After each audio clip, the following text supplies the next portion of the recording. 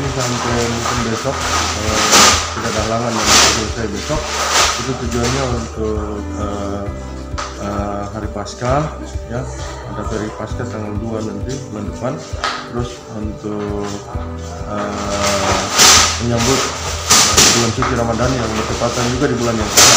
Sehingga eh, pembagian kali ini kuotanya agak besar yaitu di angka 2000 paket untuk lingkar-lingkar hotel dan seluruh eh, panti asuhan yang ada di Halmahera Utara termasuk yang ada dua panti asuhan di Galela. Fokusnya ada berapa desa?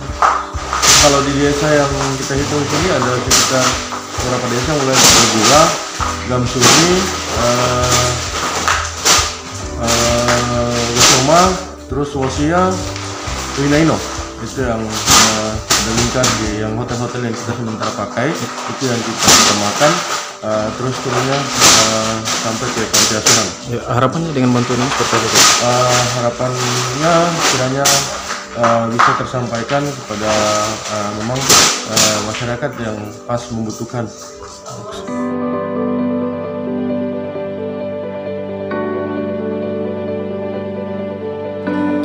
menjelang pasca dan bulan suci Ramadan Berapa paket bantuan yang diberikan ini? kurang lebih hampir 150 paket Eh, sebelumnya ada bantuan juga Eh, bantuan yang ini ada yang kedua sudah yang kedua kali ya. ya yang kedua kali. Kira-kira harapannya seperti apa? Eh, harapan kami selaku pemerintah desa Gamsumi eh, kami sangat mengucapkan terima kasih banyak kepada Pak Haji yang mana sudah memberikan bantuan kepada masyarakat saya yang kurang, kurang mampu dan harapan kami eh, ke depan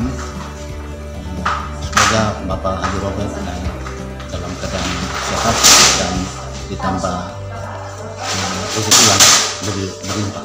Ini untuk diperuntukkan bagi masyarakat yang tidak mampu ya.